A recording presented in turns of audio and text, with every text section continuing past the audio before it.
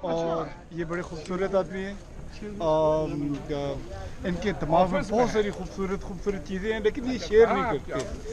And جو لوگ share کرتے ہیں وہ ہمیشہ ہمیشہ ایک ڈفرنس کریٹ کرتے ہیں۔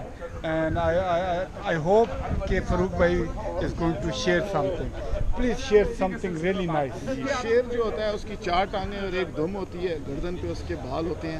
اب اس کو کتنا آپ اس کو آگے کریں کھوتے گے کے بھی چار چار ٹانگیں ہوتی ہیں دھوم ہوتی ہے۔ وہ سوتا زیادہ جو میں شیر کی بات کر رہا ہوں سر۔